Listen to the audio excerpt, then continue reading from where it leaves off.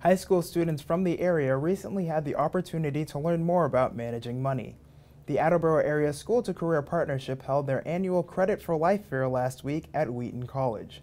The event allowed juniors and seniors from Attleboro, North Attleboro, Foxborough, and Norton to learn about financial management through an interactive workshop. School to Career Partnership Executive Director Christine LaChance spoke with us about the fair. Hi, I'm Christine LaChance, Executive Director of the Attleboro Area School to Career Partnership, and we're here today at the um, Credit for Life Fair, our sixth annual Credit for Life Fair. We have invited 430 students to come from four different schools that we support. It really is a financial literacy event. We're here to help them expose them to careers. Uh, we get them a lot of times their first jobs and they're earning their first paychecks. And the first thing I ask them is, So, what did you do with all that money? Um, and a lot of them don't have a lot to show for it. So, we said, Well, we should really be educating them about not only getting that job, but what to do with the money that they get from that position.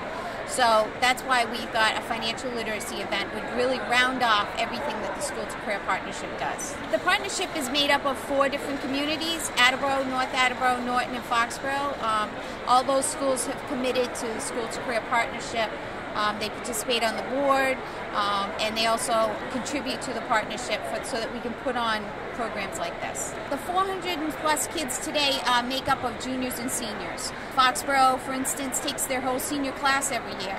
Other schools decide to break it up, um, really depending on the classroom and what students are in that classroom.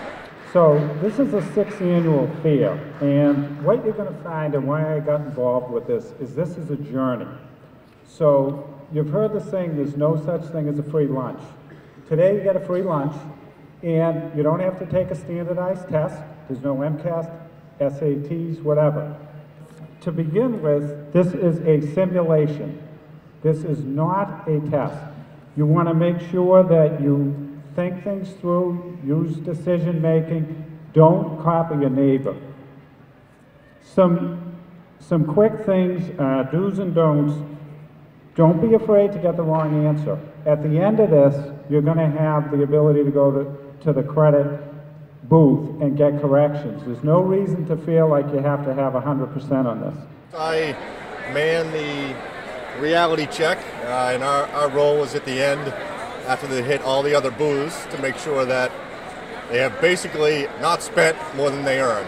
This is my third or fourth year doing this, and each year the kids have gotten a little bit better of understanding uh, how to balance a budget and how to make uh, make everything work with the income they make. I would say the first year I did it was probably 50-50.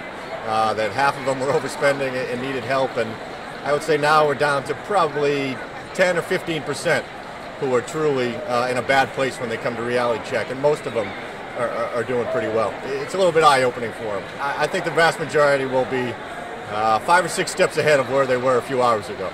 I'm Kayla Seppi. I applied as a pharmacist and I started with a salary of about I think 75,000 a year and I went around to the different stations and it kind of gave me a sense of just how to manage my money and what to buy. Um, it gave me a good idea about insurance. I came in um, saving I think I had about $800 left of my budget at the end. Uh, I'm Russell Hanson from Norton, Mass. Okay, how was the day today? It was good. I mean, I'm in debt, so. Okay, so you got to rethink some things? Yeah, definitely. Has this helped you out any? Um, a little bit, like some of the credit card things and like the loans I have to take out, like how I'm gonna have to factor that in. Give you a little more respect for, for your folks at home on how they have to deal with bills?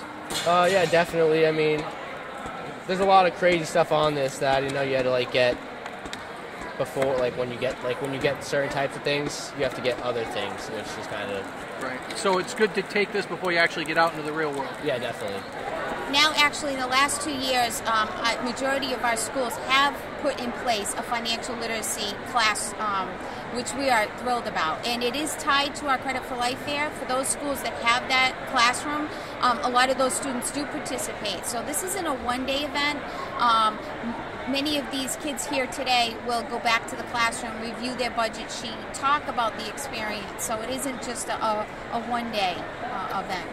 But we do hear from the juniors. I like the fact that a junior, because senior year, you're you're making financial decisions already, whether it's going off to college or that job that you're going to take coming out of high school, and we don't want it to be too late in that in that time frame. So, you know, I love to hear when kids come up and go, "Oh, that's why my mother bugs me about the cell phone bill," or um, "She has to pay that every month."